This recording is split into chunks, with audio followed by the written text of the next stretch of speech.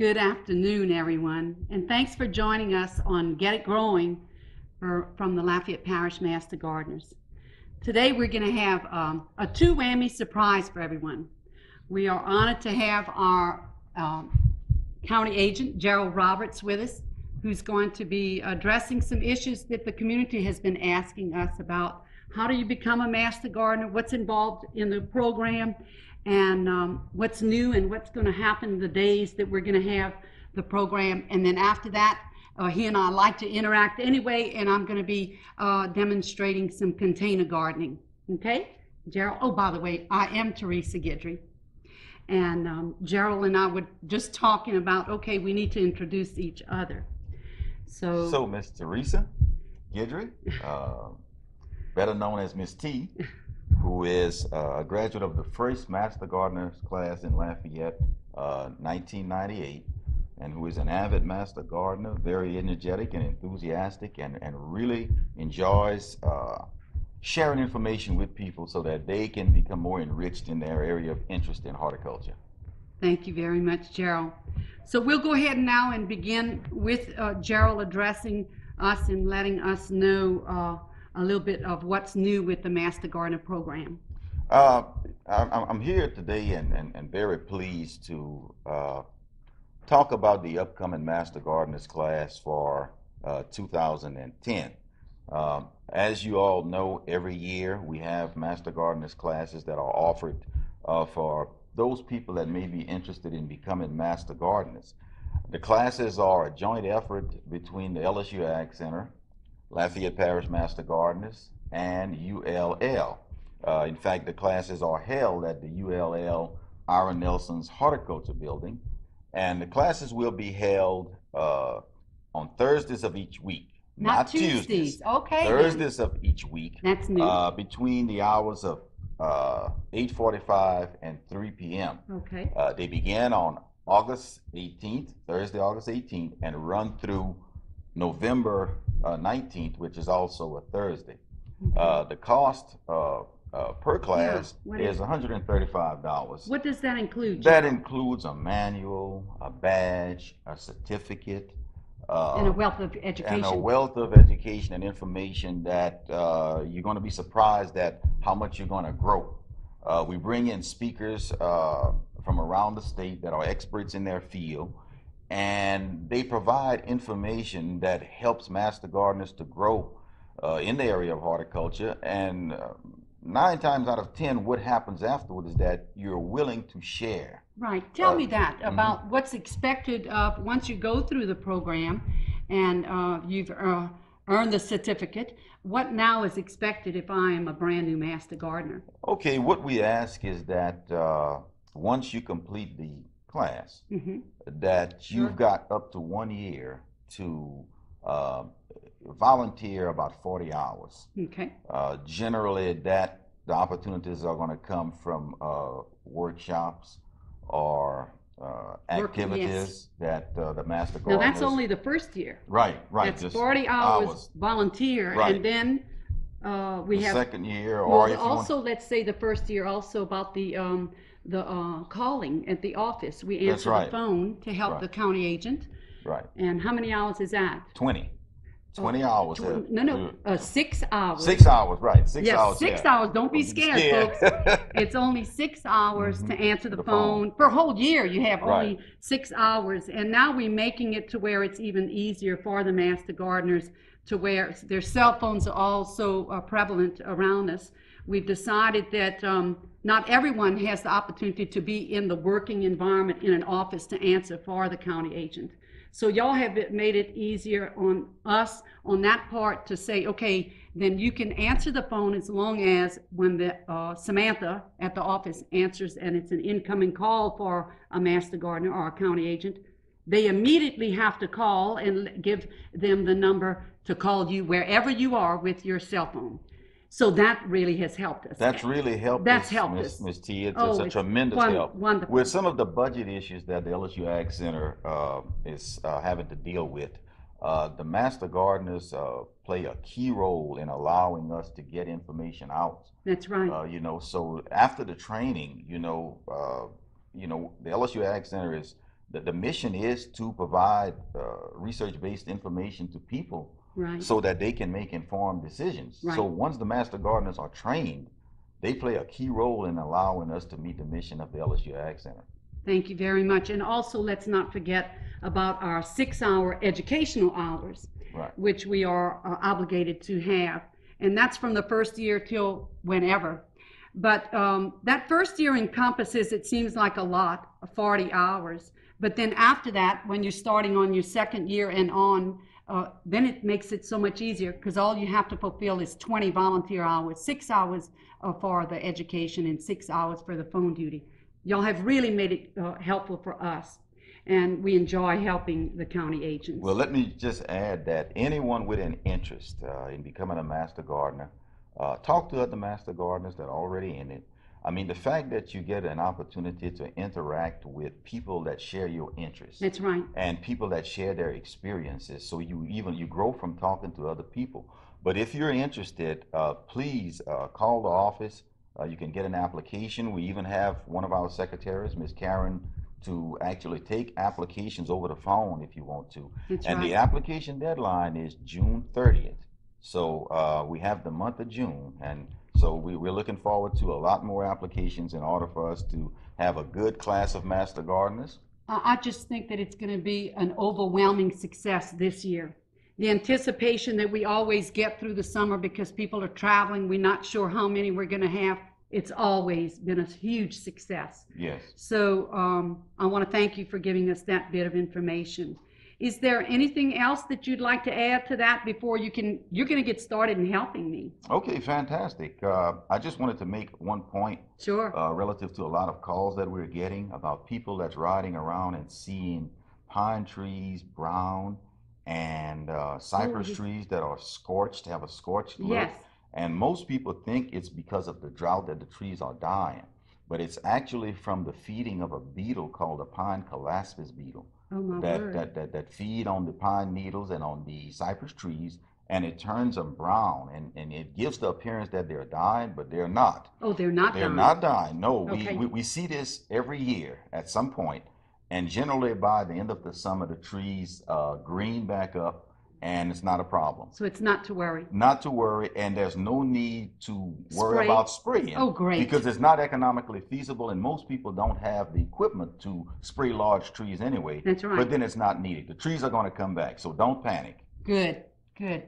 Anything else uh, far as the landscaping or gardening that you need to Um, add, Gerald? One thing that I might add is that, you know, anytime we get into the summer months, uh, as far as lawns are concerned, uh, people uh, many times want to water their lawns. Mhm. Uh, The first thing that they need to understand is that whatever watering schedule the municipalities Oh, have, right. Have follow the water watering Yes. schedule.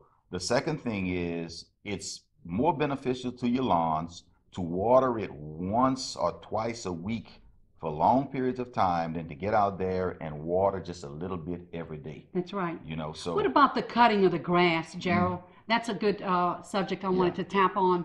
A lot of people have called us, well, what's the normal height for cutting St. Augustine, for instance? that's probably one of the, the, the, the worst things that people do with St. Augustine is Mm-hmm. cut it too short. Too short. too short because they want to cut down on the number of times they have to mow. Right. And what they're done is actually hurting the grass. Wow. You know, two and a half, three inches, no shorter than two and a half inches, preferably at three inches. If you're in shade where the grass is stressed or in competition with from large trees and shade, you it's even more critical that you raise that mowing height even higher. What about the other grasses? Would you like Well, to, yeah, Bermuda or- Bermuda, uh, anywhere from an inch, inch and a half. But uh, Bermu- Bermuda thrives at a lower uh, mowing height than St. Augustine. Okay.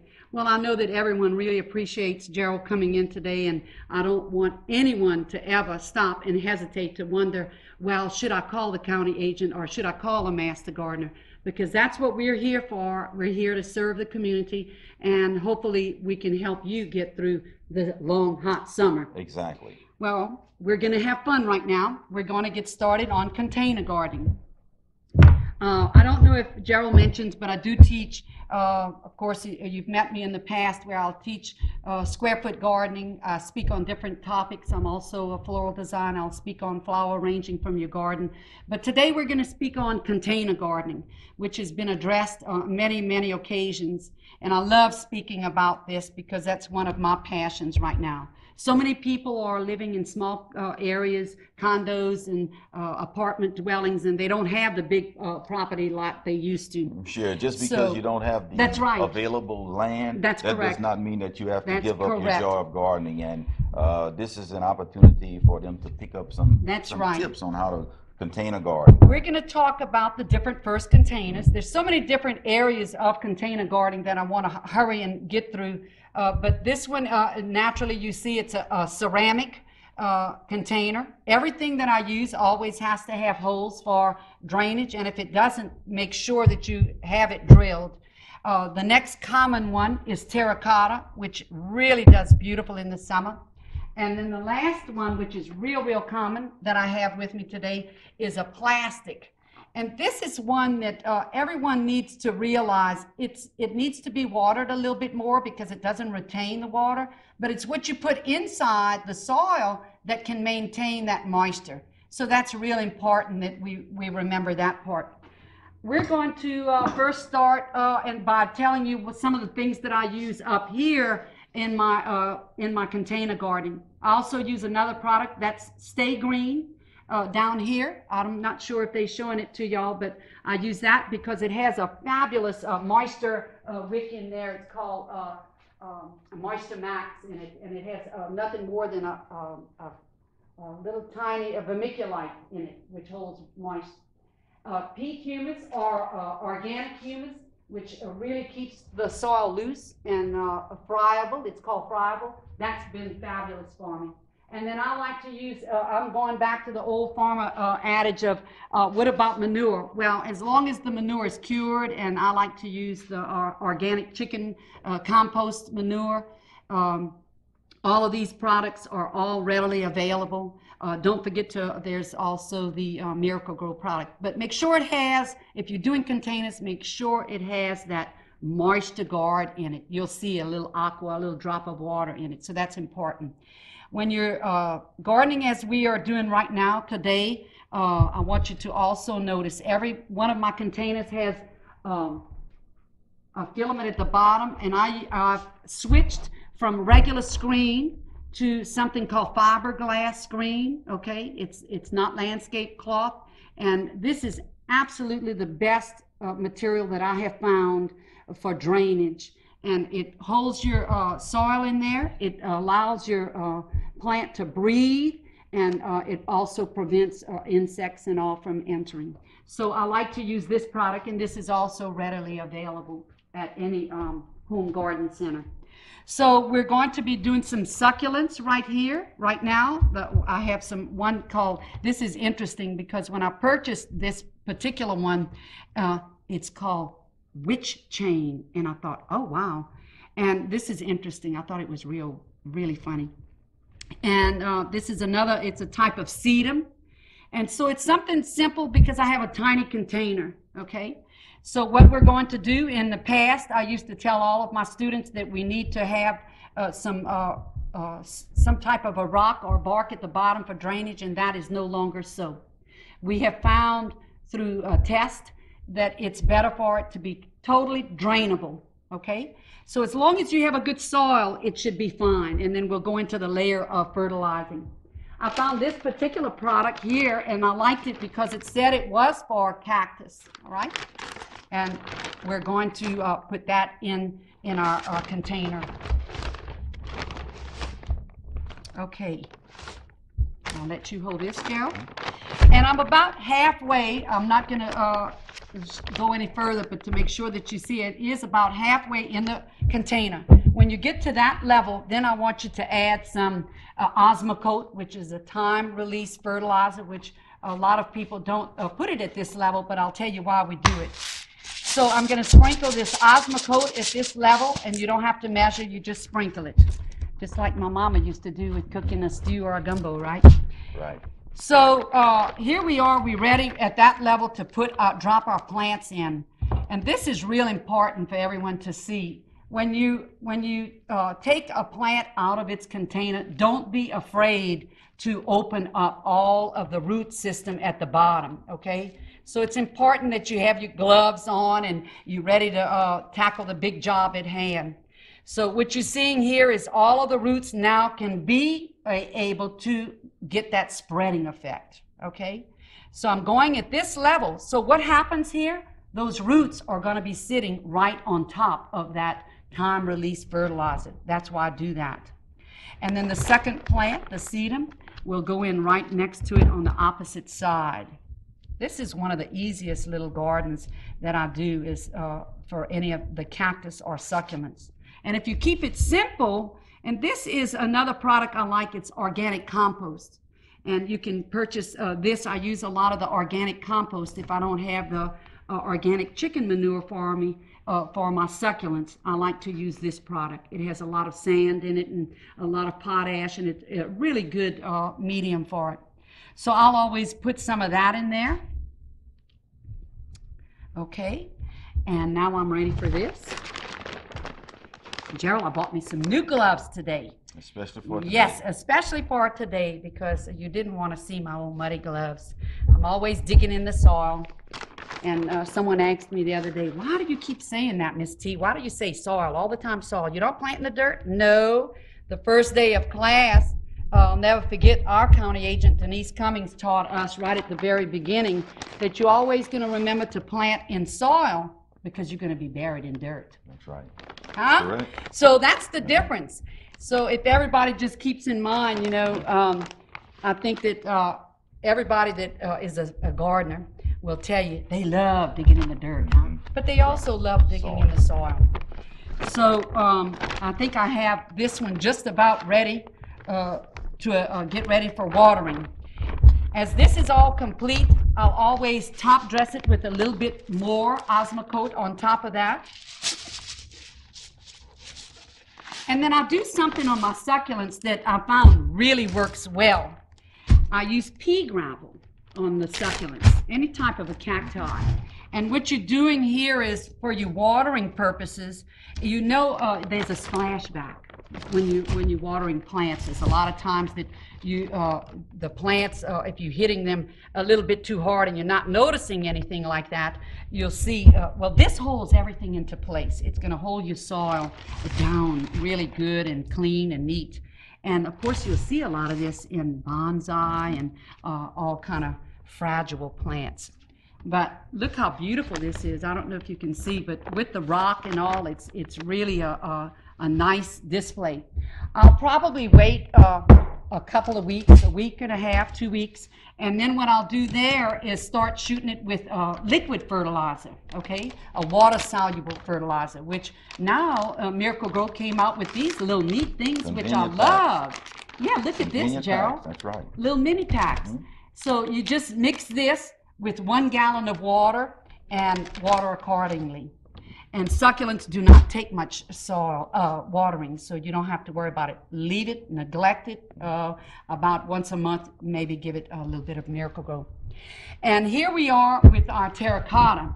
I love, love this potato vine. It's very, very common and very popular. It's become popular, I would say, in the last six years, that neon, and it's very popular because of its color. And the first thing I want to show you with terracotta, and I have tons of terracotta, is to make sure that all of your pots, no matter what they are, plastic, ceramic, terracotta, are immaculately clean, whether it be new or old.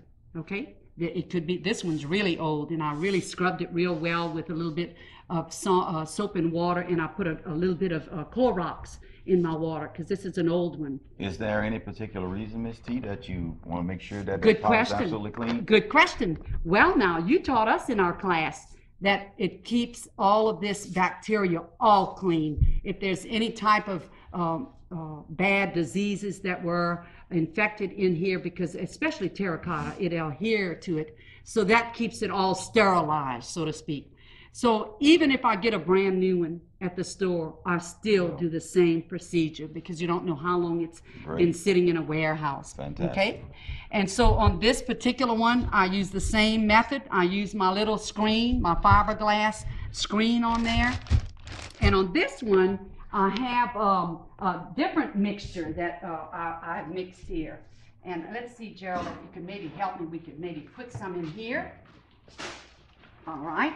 And this is a nice uh, mixture that uh, has that uh, really fine um, uh, potting mixture medium over there. That's a great, great. It has also, it has a little bit of fertilizer in it, but not much, Gerald. Is this a bag mix? Yes, and it is one of those that you pick up, but it has the uh, vermiculite in it. Okay. And it's still very, very nice, light, friable. It's called friable. When you can do this, it's really good soil. It has some shavings in it. You can smell it, can't you? Right, sure, and it uh, has a little fragrance. I wish you could already smell it because it's really nice. Makes you want to garden. Makes what you want to dig in the gar- in the right. soil. I'm going to add a little bit of this organic compost to this mixture. Okay, and if you're saying, well, Miss T, how much? I can tell you, you saw how much I did. It's just a splash of it in there.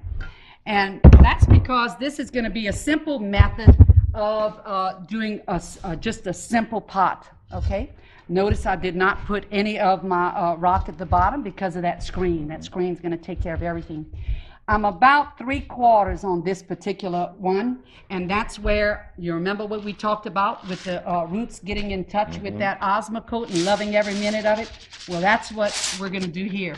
Sometimes at home, I found uh, that it helps also to, uh, when you're at this level and you have your uh, Osmocote in there, just wet it on down. Wet one- it down.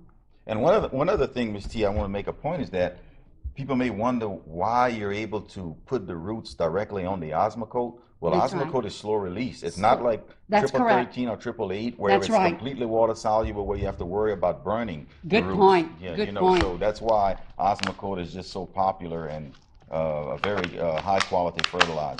And you know, don't tell me that you can't garden, right?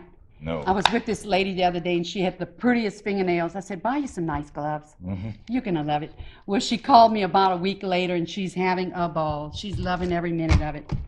This is a great root bound potato vine. Yes. I mean, this is so root Classic bound. example. Classic example. And of course, the medium that they use is going to be something that's going to be uh, time to plant, I call it. It's the type of medium that says, get me out of here. So I've broken up all of this and made sure that, all, and you're not going to be tearing up those uh, roots. Don't be scared to do what I'm doing, okay? But I want you to remember to bring it up about, I'll have to come up just maybe a little bit more because I want it to sit even with my pot, okay? So I'm right there. As you can see, I'm even with the level of the pot. Well, you can't see, but believe me, it's there, right, Gerald? Right, exactly. It's there. It's good. It's there. Okay, so this is it, and pound it really, really hard. Don't be scared because you're now stabilizing everything, okay? After you do that, go ahead, put your Osmocote, water well, wait another week or so, go ahead and do your wonderful miracle growth. The last thing I want to show you guys are, uh, you ready for this? This is like phenomenal. Okay, Gerald, you need to move that. How about let's take a chair? And this chair, this chair was, uh, someone was throwing it away, a neighbor of mine was throwing it away. And so I did nothing more than, the seat was even gone. And this is cattle guard down here at the bottom. I did zip ties to hold it in place, okay? And uh, I sprayed, kind of full painted my plastic terracotta pot. So what I'm going to do is I'm going to plant directly in this chair, and that way it's perfect. I can move it wherever. If it's a sun-loving plant or a shade plant, plant accordingly. So uh, I think today this this is all going in here. We're running out of time. I want to show you though, if I don't get a, ch- a chance to finish everything for you. Gerald, would you hold this one for me? Thank you. Those two are going in here, and this beautiful, beautiful shrimp plant also is going in here. This coleus is going in here, and all of these are fun, sun-loving plants. These fire spike, everything that you see is going to be ready for the sun at my house.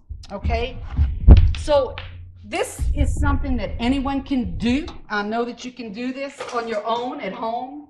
And uh, the main thing I want to uh, tell everyone is that container gardening is fun gardening. It's fun gardening. It's fun gardening, and I've taught children, I've taught uh, the elderly, uh, uh, they've taught me so much. And all we're trying to do is get back to giving back to the community. So, Gerald, I can't thank you enough for being with us. It was just an honor for us for you to share everything that you know, and we're going to call you. Well, thank you for calling me. And let me just say, becoming a master gardener, it would be one of the best decisions that a person could make if you have an interest in horticulture. Your personal growth and development is just unbelievable. That's right. Thank y'all so much for being with us. We really appreciate and have a great afternoon. Okay, and uh, Ms. T, just to uh,